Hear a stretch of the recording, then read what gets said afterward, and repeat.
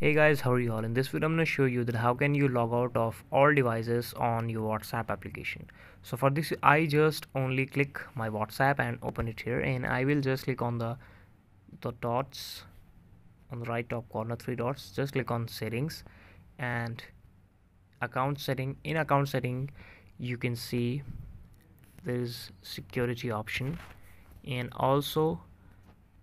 the only way to log out of all devices in from your whatsapp you just have to delete your account from here and it will be out of all the devices in currently login so thank you so much for watching this video. Please subscribe this channel if you liked